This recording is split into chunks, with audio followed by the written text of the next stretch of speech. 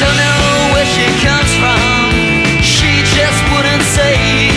But we're going down to the graveyard at the finish of the day. She dresses up in black and wears a red rose in her hair. I know she is a.